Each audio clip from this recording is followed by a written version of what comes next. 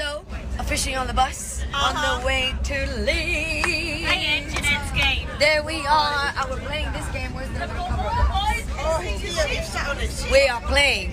These cards will get you drunk. That's what we're gonna do now. Gina's losing, I feel. They're very good. They're very accurate. Does what it says on the tin. Basically, show's over. Amazing shows in Birmingham. Now we get a day off, a little bit of rest on the bus, and that is a whole day on a double show day. Hey, Bye. Strictly Stars blow off steam by partying until 3 a.m. after performing twice a day on tour.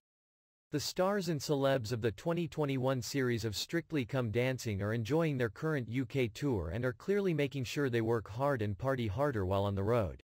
The cast of the current Strictly Come Dancing live tour certainly let their hair down on Sunday night as they partied until 3 a.m. Dance professionals including Aljaž Škorjanec and his presenter wife Janette Manrara, Strictly judge Craig Revel Horwood, dancer Johannes Radebe, and celebs including Tilly Ramsay and Rose Ayling-Ellis partied, drank and danced until the wee hours following an exhausting double performance day.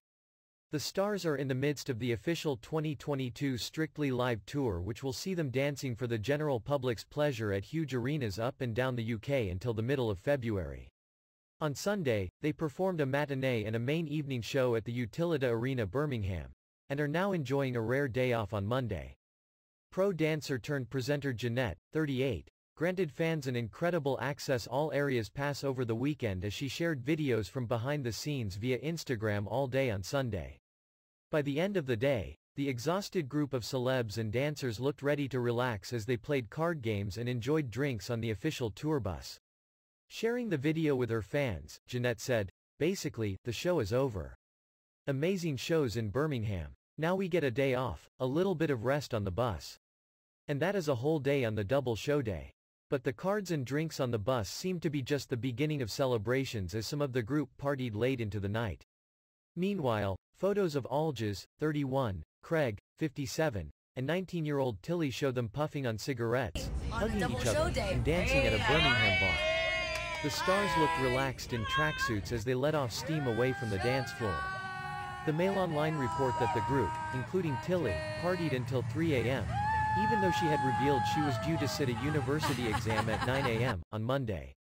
The cast and crew of the show have been stealing sleep whenever they can, however, as Tilly and co-star Rose, 27, napped together between performances on Sunday.